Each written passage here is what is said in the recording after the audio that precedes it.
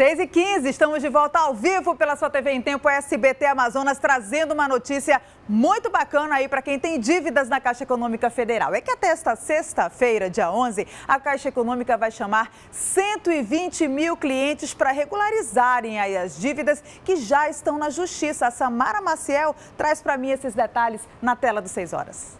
Bom dia, Mariana. Muito bom dia para você que acompanha o 6 Horas Notícias. Essa semana de conciliação ela começou ontem e vai até sexta-feira. E como você disse, Mariana, a Caixa vai chamar 120 mil clientes de todo o país para que as dívidas que já estão na Justiça possam ser quitadas com mais facilidade. E o total dessa dívida já soma mais de 6 bilhões de reais.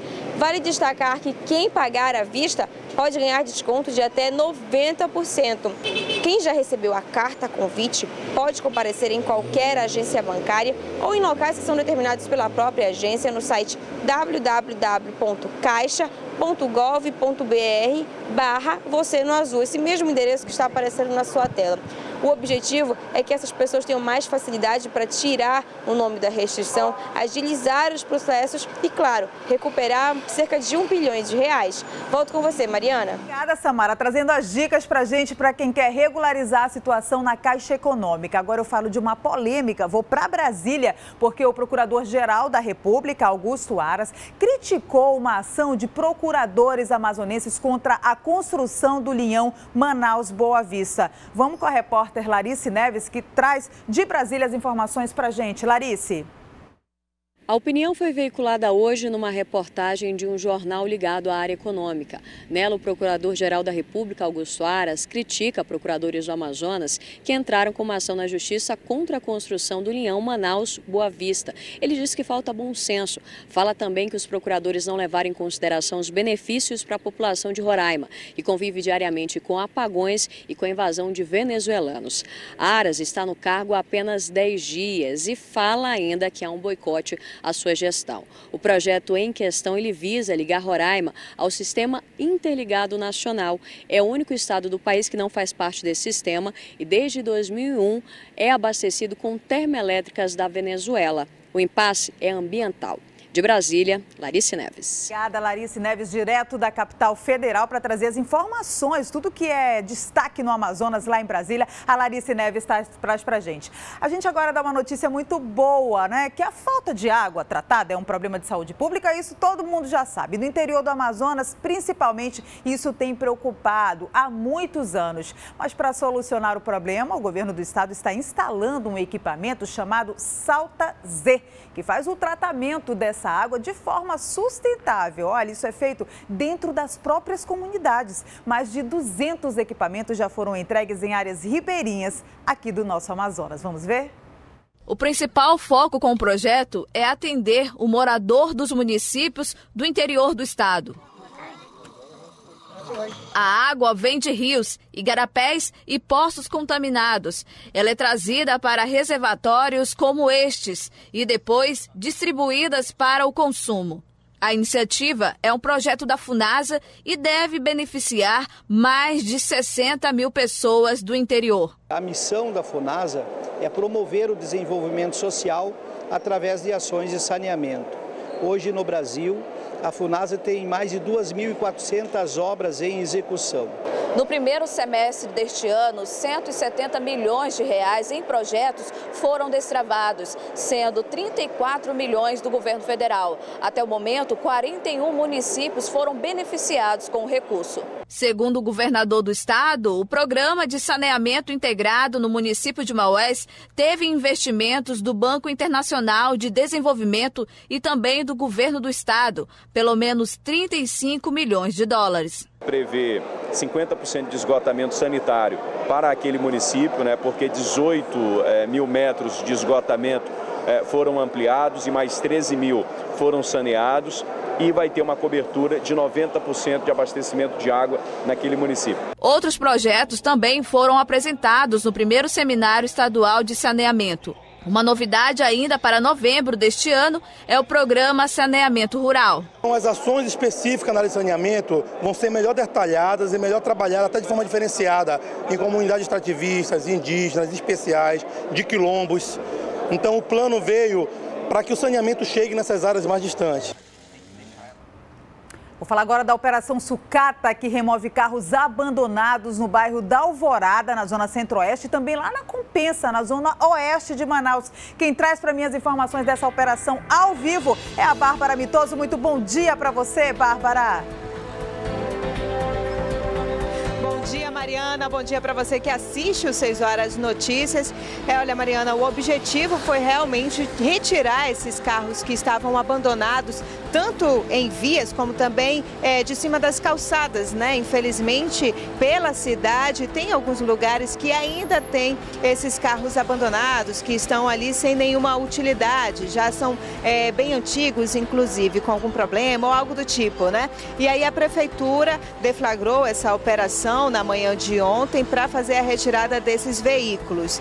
É, foi somente no bairro da Compensa e no Alvorada, né, pretendendo aí também em outras zonas da cidade, mas é, quem tiver interesse em resgatar esses carros, né, os proprietários desses veículos que foram retirados, é, tiver interesse em resgatá-los, pode entrar em contato com o Instituto Municipal de Mobilidade Urbana no número 0800 092 1188. Vou, dar, vou repetir novamente: 0800 092 1188. Ou então ir até o órgão, né, o Instituto de Mobilidade Urbana, o IMMU, que fica na rua Urucará, no bairro Cachoeirinha, na zona sul da capital.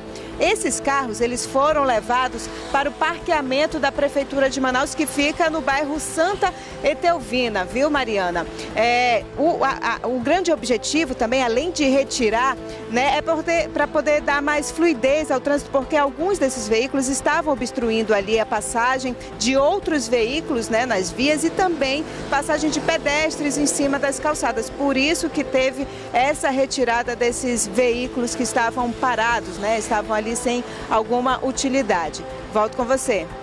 Agora, daqui a pouco eu volto com você para mais informações ao vivo. Eu vou reforçar o número aqui para quem quiser denunciar, né? 0800 092 1188 é o número para você aí é, ligar e para que possam ser retirados realmente esses veículos de circulação que atrapalham aí muitas vezes o ir e vir na cidade.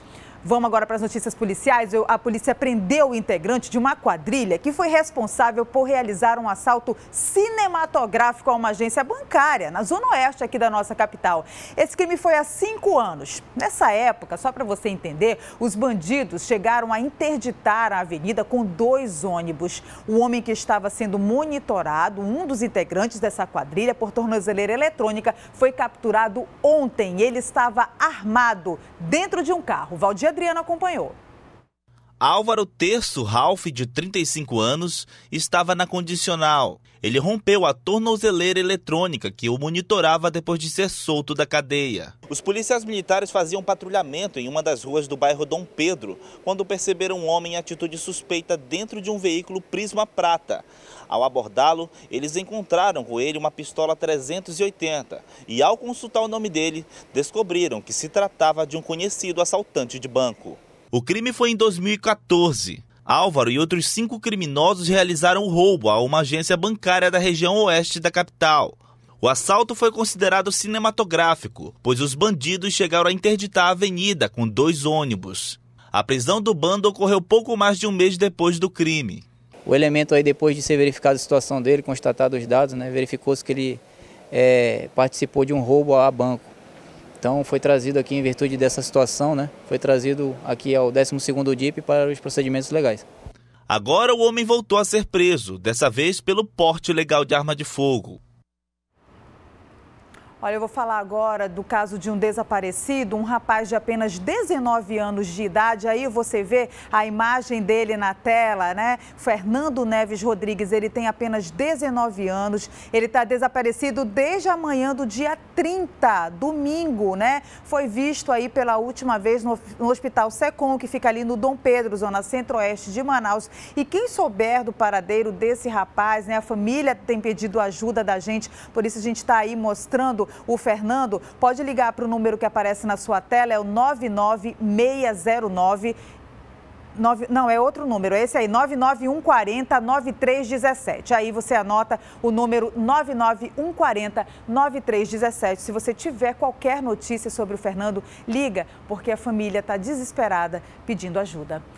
Integrantes de uma facção criminosa foram presos dentro de uma suíte de motel na zona centro-sul aqui de Manaus. Os bandidos estavam fortemente armados. Pelo menos sete armas de fogo foram encontradas por, com eles, que, segundo a polícia, seriam usadas para eliminar rivais do tráfico. Vamos ver.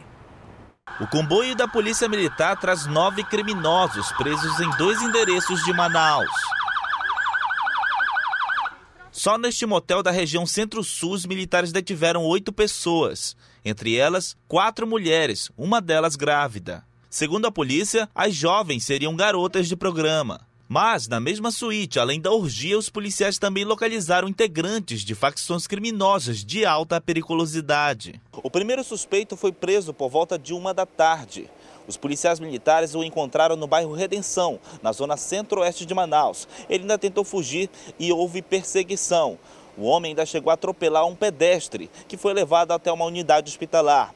Dentro do carro do suspeito estavam dois revólveres calibre 38 e só a partir daí que ele entregou o restante do bando. Então a equipe Rocan também prontamente se deslocou até o local para verificar a veracidade aí da situação Chegando lá, foi encontrado o restante do bando aí e mais cinco armas de fogo, totalizando sete armas de fogo. No total foram quatro pistolas, três revólveres e várias munições. Mauro Júnior Tenório da Silva, de 25 anos, é um homem temido na cidade. Conforme autoridades, ele é investigado por várias mortes ocorridas na zona sul de Manaus. O armamento apreendido com o grupo seria usado em outros ataques a gangues rivais. Todos os suspeitos presos na ação já tinham antecedentes e eram envolvidos com o tráfico de drogas. Eles vão responder por porte ilegal de arma de fogo e organização criminosa. As mulheres foram liberadas depois de depor na delegacia. Agora eu mudo de assunto para chamar os meus telespectadores, mostrar quem é que está comigo aí com a gente, hein, Flavinha, nessa terça-feira? Como é o nome dela? Isabelle, que linda, lá do Mauazinho, sempre tá com a gente, Abelle. Um beijo, princesa. O Ramos, lá do Alvorada 2, olha o pessoal da Alvorada de volta aí com a gente. Seu Ramos, obrigada pela companhia, viu? Olha o Igor com uma foto bonita, gostei, Igor. Lá no Alvorada 1 também, olha Alvorada em peso hoje, tô gostando, hein, minha gente? Um beijo, pessoal da Alvorada. É o Bernardo e o e o Freden, lá de Petrópolis, eles também estão sempre ligadinhos no 6 Horas Notícias. Um grande beijo para vocês, viu? Yasmin do Valparaíso, que sorriso lindo, Yasmin. Obrigada pela companhia. Ezequiel, Natanael, é isso? E Samuel, é, são os Els, eles sempre estão com a gente também, os três meninos. Um beijo para vocês aí no novo milênio, meninos. Olha o Silas do Riacho Doce, que estilo, hein, Silas? Gostei, obrigada, bom dia para você. Tá aí, você pode mandar suas fotos também pra gente no 993276649. É o nosso WhatsApp para eu te conhecer, saber de que bairro você está falando, de que município do interior do Amazonas você está falando com a gente nessa terça-feira. Você vai ver a seguir provas do Enem começam a ser distribuídas nos locais de aplicação que serão divulgados a partir do dia 16. E agora eu vou com imagens ao vivo de trânsito na Avenida Djalma Batista. Você vê aí que por enquanto ainda está fluindo, mas essa é uma das avenidas mais movimentadas da capital de acesso ao centro. São 6h29. Não sai daí que eu volto já.